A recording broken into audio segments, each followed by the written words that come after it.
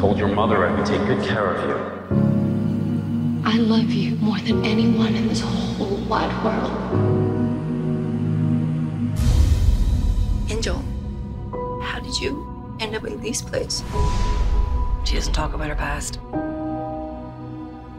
Redeeming Love has spent uh, so many years on the New York Times bestseller list, has sold over 3 million copies, and is in 30 different languages.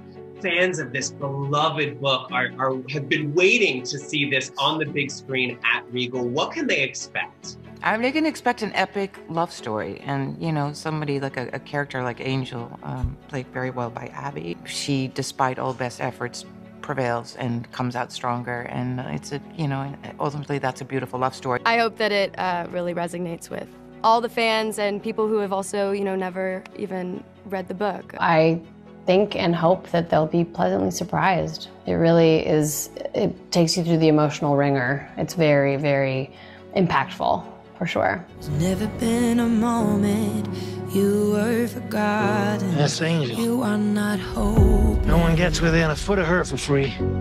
I have to meet her. What's your pleasure, mister? I didn't come here for the bat. The scenery and landscape in this movie is so beautiful. It's basically mm. like its own character. It's insane. what was it like for you both to go to South Africa and, and film this epic story? I had a lot of time off, which I secretly loved because I went to go play with penguins and cheetahs. I went on safari, I did hikes. And South Africa is such a beautiful, beautiful place. It's so rich in mm. culture and like you said, the scenery is, the, the landscapes are insane. So I loved it. Yeah, it was absolutely stunningly beautiful. Every single day, I was just in awe with the landscape of, you know, and just being in Cape Town, but also seeing the rest of the country. And the first day of filming was out in this this town that they had built, and it was so windy. It's very windy a lot of the time in, in, in Cape Town anyway. But I literally I couldn't open my eyes until they called action, and then just because it was all sand and dust and all of that, uh, yeah, it was it was it was quite interesting battling the the elements. You got any big plans? Plans? She can't keep me here. You forget where I found you, Missy. I made you a princess. Feel the Power Ranger. The only girls who leave here are too old, too sick to work, or dead. I'm gonna kill you. Ooh, are you mean in this movie?